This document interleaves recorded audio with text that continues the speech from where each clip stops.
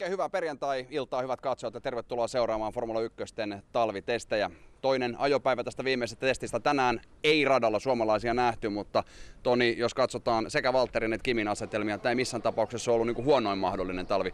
Kimiä sen verran molemmat tunnetaan, että herrahan ei hehkuta yleensä paljon, mutta on lausunnot, kun niitä oppii niitä rivien väliä tulkitsemaan, niin lupailee kuitenkin jo aika hyviä asioita. No kyllä joo, että Kimi ei ole niin lytännyt mitään asiaa vielä ja ei ole tullut semmoista, että joku ei selkeästi toimisi joku asia ja, ja se on niin hyvä, hyvä juttu. Ja sitten taas Valtteri, Valtteri kun autossa niin on saatu paljon kierroksia ja myös kun Massa-autossa niin on paljon kierroksia, niin molempien tiimien ja molempien suomalaiskuskien tiimien touhu näyttää ihan positiiviselta. Ja Williamsin kohdalla taas tulla aika hyvään aikaan tuo Mercedeksen moottoreihin vaihtaminen, koska Mersun moottorilla mennään tällä hetkellä selvästi kova. No se oli ihan napakymppi muutos, että erittäin hyvää pelin lukua ja, ja tota, sieltä tiimin päähenkilöiltä niin hyviä päätöksiä. Tänään kuitenkin Ferrarin ja Williamsin puikoissa Fernando Alonso ja Felipe Massa. Tämän talven kolmanneksi viimeinen testipäivä oli selkeästi jo pitkien eli kisavetojen tahdittama. Kierroksia ajettiin paljon, mutta kierrosajoissa jäätiin kauas viime viikon nopeimmasta noteerauksesta. Eiliseen tapaan Force Indian Sergio Perez oli koko joukon nopein ja sai kasaan yli sata kierrosta. Jos jäi eilen Kimillä kierrokset hiukan vähin, niin tallikaveri paikkasi tänään tilanteen ja otti kierroskunkun tittelin haltuun. Fernando Alonsolle toiseksi nopein aika ja 122 kierrosta. I think I'm happy with the things how they are going so far. I think we could be better in terms of performance. We could be better in terms of uh, ability also that uh, uh, we have uh, maybe too many problems sometimes in the day even if uh, you do a lot of laps sometimes you stop because uh, some issues but in the other hand when uh, I see at the end of the day where we are and uh, how many laps we do uh, I know that other teams are worse than us Red Bullin kierrosmäärä ei vielä tänäänkään ollut mitenkään maaginen, mutta 66 kierroksen aikana Daniel Ricciardo pystyi kuitenkin taikomaan jo kolmanneksi nopeimman ajan.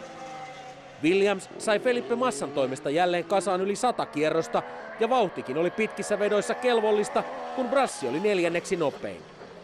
Mercedes jatkoi tänään uusien osien sovittelua, Lewis Hamiltonille 89 kierrosta, mutta aika oli reilut 6 sekuntia hitaampi kuin tallin viime viikolla ajama nopein noteraus.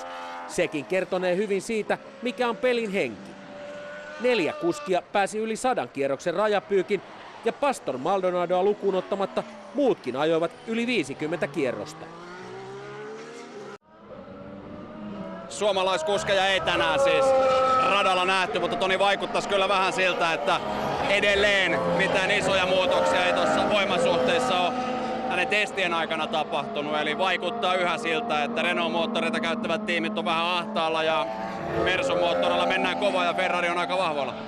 No joo, siinä ehkä testiohjelmat aika paljon muuttuu nyt näiden päivien aikana, eli kierrosajoissakin on suuria eroja, että väliajetaan 2-3 sekuntia hiljempaa ja, ja vaan kierroksia tauluun, niin, niin, niin ehkä on, on vaikea sanoa sitä lopullista voimasuhdetta. Nyt nähtiin tuossa Red Bulli, niin pääsi muutaman kierroksen jopa vähän lujempaa jo ja, ja, ja tilanteet elää koko ajan ja mennään, mennään päivät kuluu ennen Melbournea. Mitä sä näet kuskin kannalta tämmöisen tilanteen, kun näiden vikojen korjaaminen tällä kaudella tai näissä talvitesteissä näyttäisi olevan ottavan pidemmän aikaa kuin aikaisemmin, että päästään niihin osiin kiinni ja vähemmän kierroksia ja näin. Jos esimerkiksi Sebastian Fetteli ajatellaan maailmanmestari, mutta aika lailla erilainen valmistautuminen kauteen kuin mitä viime aikoina.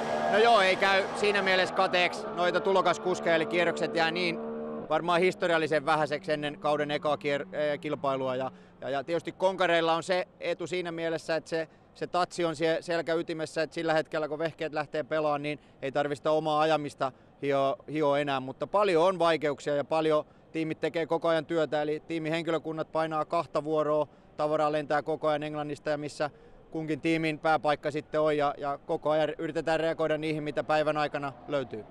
Fakta kuitenkin lienee se, että jokaiselta tiimiltä aika loppuu vähän kuin kesken, nimittäin Melbournein kisan on enää reilu kaksi viikkoa aikaa. Vain kaksi testipäivää jäljellä, eli odotettu kauden avaus Melbourneessa lähestyy. Perjantai vapaisin harjoituksiin on aikaa 13 päivää. Tänä talvena testit ovat olleet erikoisemmat kuin aikoihin. Kierrosmäärät ovat olleet merkittävästi vähäisempiä kuin moneen vuoteen, mutta muutamat tallit ovat päässeet kyllä ihan aiempien vuosien tasolle, ja se tietää sitä, että voimasuhteet alkavat olla jo aika hyvin selvillä. Mercedes on selkeästi vahvin ihan millä tahansa mittarilla mitattuna, vaikka aivan ongelmitta ei heidänkään testit ole koko aikaa kulkeneet. I'm optimistic but confident it's tough. You know, it really, really is tough because um, speed doesn't help if you if you don't get to the end of the race. You know, and so everything needs to fit together, and we're not there yet, and there's just a few days left, so we need to make the most of it, and, and I hope then that we're ready for for Melbourne. Um, but it's going to be close. Kauden avauskisasta odotetaan monessakin mielessä yllätyksellisintä pitkään aikaan. Kaluston nopeus ja luotettavuus ovat tietysti tärkeässä roolissa, mutta myös kuskilta vaaditaan paljon. Pelkkä yhden kierroksen nopeus ratkaisee entistä vähemmän. Mä luulen, että tällaiset kuljettajat, jotka on kisassa kärsivällisiä, jotka osaa tavallaan pelata sen kisan ja katsoa sen kisan kokonaisuutena läpi, niin on ehkä parhaimmillaan, että tällaiset kaverit kuten Alonso ja Kimi, joilla oli niin viime vuonnakin jo hyvää kisasilmaa siinä mielessä, eivät repineet turhaa silloin, kun sitä ei tarvinnut tehdä ja osaa säästää renkaita. Ja tietysti nyt tulee se pensan säästäminen mukaan myös tähän kuvioon, niin he on vahvimmillaan. Ähm, tällaiset niin kuin nuoret härät, jotka menee ihan miljoonaa vaan ja yrittää päästä siinä jo heti kärkikamppailuun mukaan, niin heillä tulee olla paljon vaikeampaa. Pitää osata ajatella myös isoa kuvaa ja sitä koko kisaa ja kokonaisuutena, eikä pelkästään sitä, että mitä tapahtuu tällä kierroksella. Ja tota, taktinen pelisilmä, niin se tulee olemaan hyvin merkittävä tänä vuonna. Kokemus on siis isossa roolissa ja tietysti se teknisen palautteen määrä, jonka kuljettaja on pystynyt testien aikana tallille tarjoamaan, korostuu entisestään. No ajettavuuden suhteen kyllä, että jos kuljettajalla on hyvä tuntuma siihen autoon ja nyt kun sovitellaan näitä eri systeemejä yhteen, eli otetaan sitä energiaa talteen jarrutuksen aikana enemmän kuin ehkä otettiin aikaisemmin, mutta myös se, että on elektroninen jarrupalanssin säätö, ja että se kuljettaja tuntee nämä asiat hyvin ja osaa tietysti antaa hyvää palautetta. Vaikka tietysti datastakin nähdään paljon, mutta se on silti vielä eri asia, että miten kuljettaja sen tuntee, niin kyllä se, se on merkittävässä roolissa myös tämän auton kehityksessä. Valtteri Bottaksella on yksi testipäivä vielä ajamatta, eli tuo viimeinen testipäivä, mutta Valtteri, eilen kova määrä kierroksia, muutenkin teidän laite on näyttänyt toimimaan aika hyvin. Jos vertaat siihen tilanteeseen, missä oltiin tasa vuosi sitten tässä hetkessä, niin eh, minkälainen fiilis verrattuna siihen? No on parempi fiilis, että kyllä niin kuin ja tiimissä yleensäkin niin, ja aika paljon positi- positiivisempi meininki ja, ja tota, koko ajan ollaan mennyt tässä testin aikana paljon eteenpäin ja, ja tota, vielä toivottavasti pystytään mennä eteenpäin ennen, ennen ekaa kisaa. Että niin kuin, siellä sitten vasta oikeasti niin nähdään, missä mennään, mutta tota, ihan hyvät lähtöasetelmat mun mielestä. Mercedeksen moottoreita käyttävät tiimit muutenkin vaikuttaisi tässä vaiheessa olla vaikka vahvalla. Taisi olla aika hyvään aikaan tullut muutos teidän tiimille. No kyllä, kyllä tuntuu ainakin, ainakin tässä vaiheessa kautta, että niin ihan oikea päätös tehtiin moottorin suhteen, niin yhteistyö niiden kanssa ja, ja muutenkin niin on ollut hyvää, että tota, ei mitään, mitään valittamista ja luotettavuus on ollut hyvää ja se tulee varmaan olla tosi tärkeä kuitenkin noissa ekoskisoissa varsinkin. Felipe Maassa sun tallikaveri sanoi jo, että palkinnoilla ollaan ekaskisassa ensimmäisen ajamassa testin jälkeen tuttuun tapansa aika lailla sellainen positiivisesti, että vahvasti eri linjoilla tallikaverin kanssa. No odotetaan nyt siihen ekaan kisaan, että tota, kuitenkin viime vuonnakin niin välillä testeistä tuntui hyvältä ja luulin, että niin tästä voisikin tulla hyvä, mutta sitten se olikin vaikea kausi. Mutta tota, pidetään nyt jalat maassa ja ei, ei jaeta vielä niitä palkintoja, että tota, katsotaan, katsotaan sitten.